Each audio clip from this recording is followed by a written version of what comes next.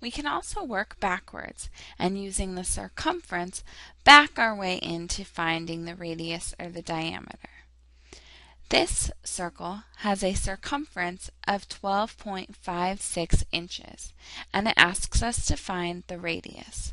It also asks us to use pi as 3.14. As a reminder, circumference is equal to pi times d or pi times 2 times r.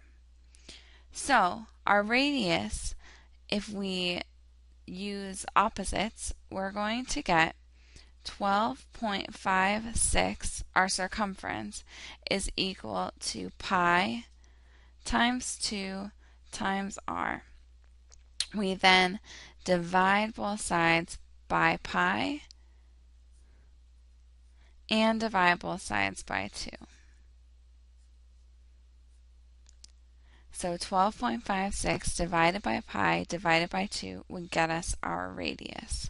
And when we solve it all out, we get a radius of 2 inches.